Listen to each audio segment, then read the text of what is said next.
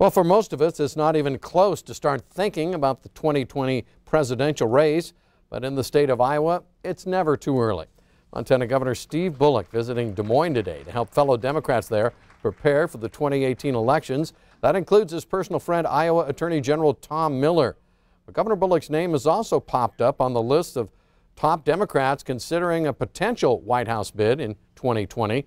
Today, he took a tour of local businesses outside of Des Moines to introduce himself and perhaps test the waters. He spoke to locals and learned more about one of the key states in the early election caucuses.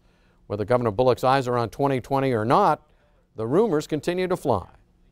First of all, I have a great job being governor of Montana, but I'm, like so many others, concerned about the direction of the country and even the direction of our Democratic Party. So to get down and talk to folks, to be here, I think it's important to be part of that conversation, but 2020 is a long way off for sure.